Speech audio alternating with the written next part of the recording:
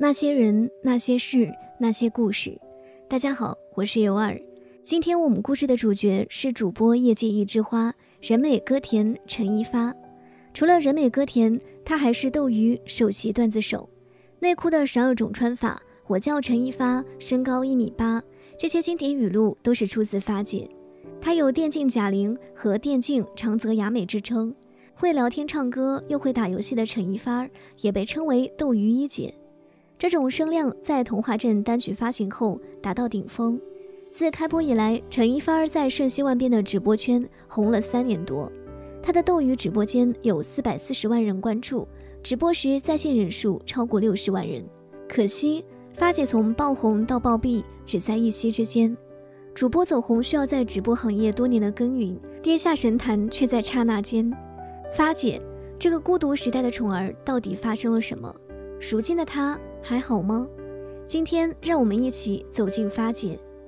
陈一发，一九八五年十月十三日出生在重庆的一个教师家庭。他从小喜欢唱歌，小时候想象过成为惠特尼·休斯顿、玛丽亚·凯莉这样的歌星。父亲是语文老师，耳濡目染中，陈一发从小就古灵精怪，喜欢咬文嚼字。那年刚热播完的《还珠格格》，在家里找东西没找着。他便模仿剧中人物的腔调，给母亲写了封信：“额娘，此物栖生，便寻不着。”二零一四年，陈一发还在重庆一家建筑设计院做工程师，靠画 CAD 谋生，因此被戏称为“成功”。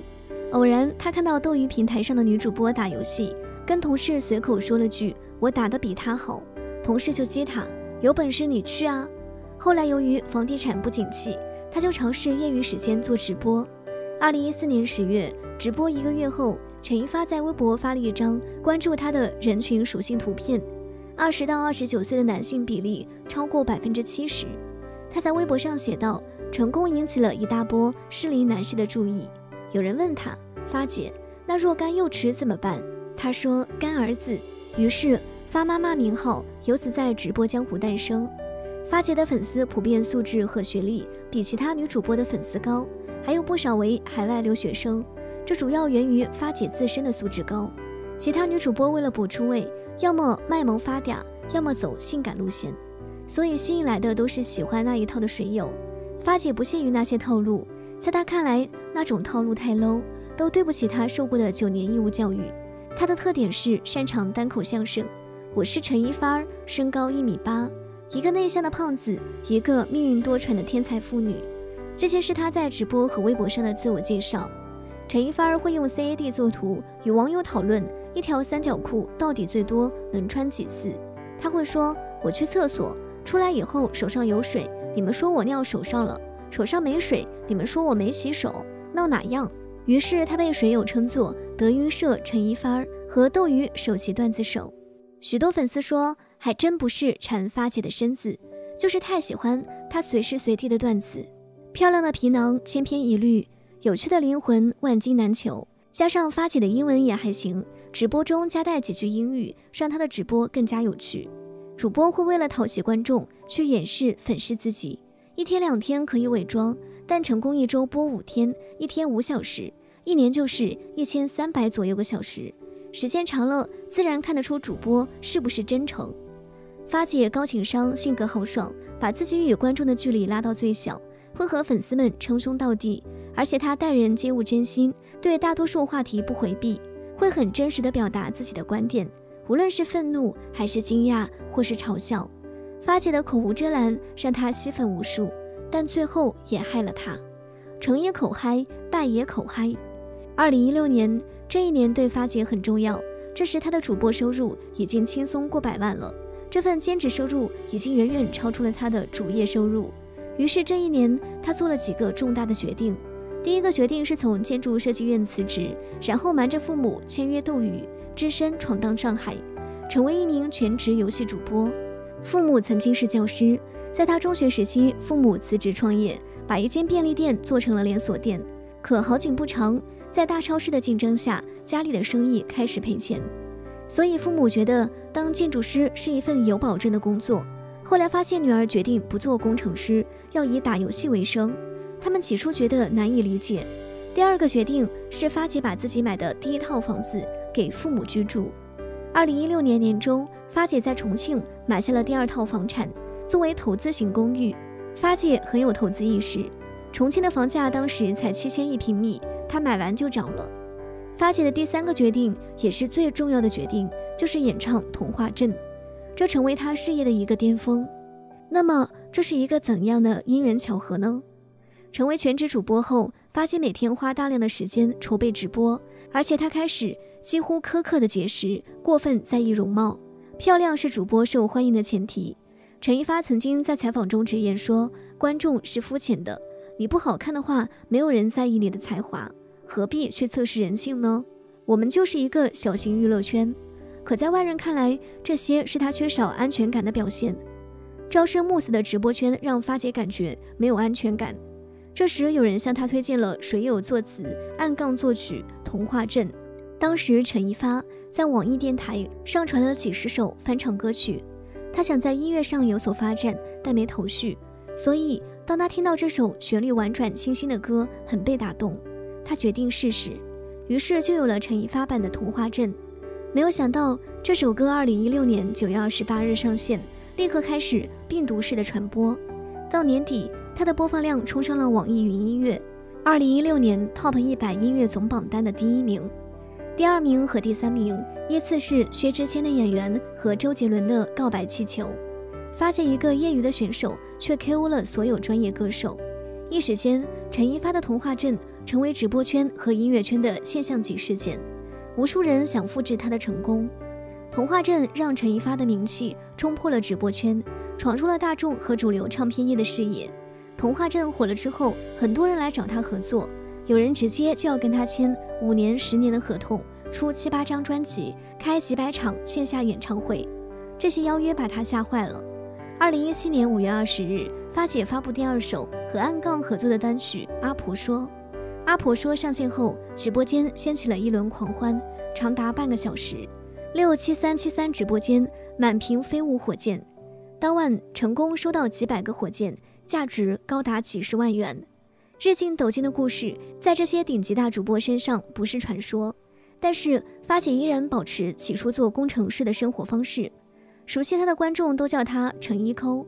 滴滴打车，只要遇到要乘以一点二倍，他宁可坐公交车回家。那时陈一发和二珂、大表姐冯提莫合称为斗鱼 F 四或者斗鱼四美。冯提莫唱着小鸡哔哔哔，大表姐用死了都要爱去感化观众，而二珂对着话筒清纯唱歌。